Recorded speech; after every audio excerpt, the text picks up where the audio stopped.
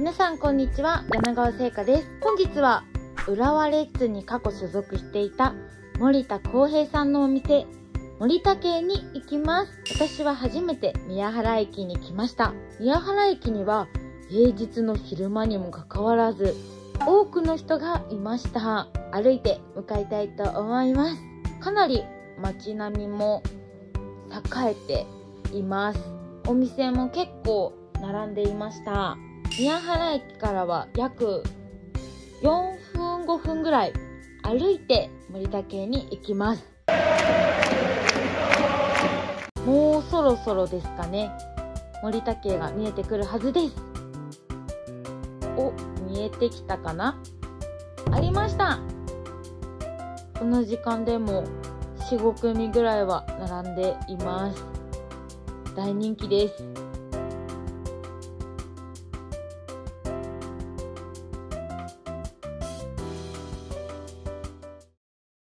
ということで森田県に着きました。はい結構人も実は並んでいまして34組ぐらい待ってやっとお店の中に入りました。注文は券売機で注文だったので私はラーメンを、ま、今回頼んだんですけども何のラーメンを頼んだかは届いてからのお楽しみということで。調味料は胡椒と一味がありました。それでは待っていきたいと思います。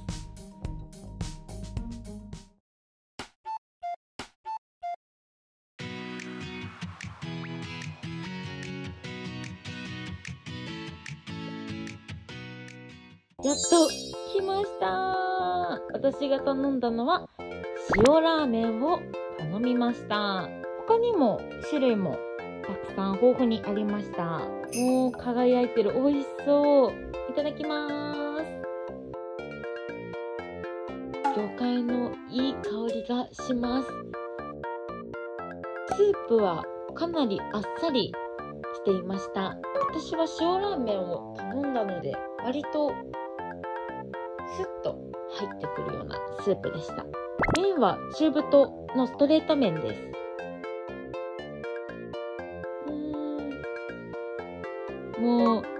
夜アフレコをしているのでもう見るからにしてもうお腹が空いてきます。とても美味しかったです。こちらはチャーシューです。もう肉厚でとても美味しかったです。一口でペロリ。でもちょっと大きかったため噛むのが少し大変でした。もう本当に口の中に入れたらとろけるような美味しさでした。引き続きもぐもぐしている間にちょっとお話をさせていただきます。元 J リーガーの森田康平さんのラーメン屋ということで大性が高く気になっていました。ニュースにもかなり取り上げられていました。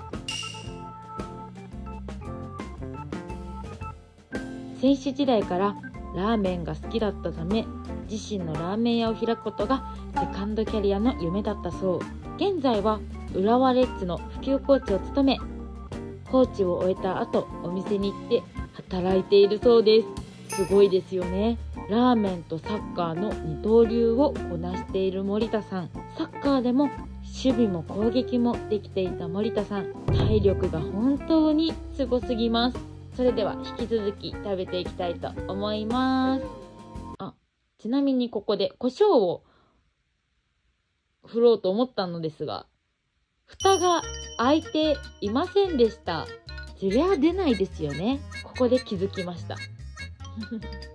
周りの方にも笑われました。私結構胡椒が好きでスパイスとかガツンとくるものをよくかけたがります。わさびとかもすごく好きでだいたい1貫に対して小さなわさびの袋を2.5袋ぐらい使うぐらいわさびも好きなんです。今度何かお寿司計画とかできたらいいなと思いますあるかな？ラーメンは無敵屋さんに引き続き第2弾ということで、やっぱ無敵屋さんとは違った、もう店も違った雰囲気で、ラーメンも、無敵屋さんはどちらかというとこってり、豚骨というイメージがあるんですけど、森手家は割とあっさり系のラーメンなので、女性にも人気やと思います。お店の中も冷房は効いていたのですがラーメンが熱々だったので長袖で来たことに後悔をしました。結構お店も人が多く開店もかなり早く行ってました。従業員の方もすごく優しい方ばかりで助かりました。撮影許可もありがとうございます。ここで食べ終わりました。最初見た感じ麺少なめかなと思ったのですがもう下の方に麺がたくさん埋まってました。結構私的には量が多く感じました。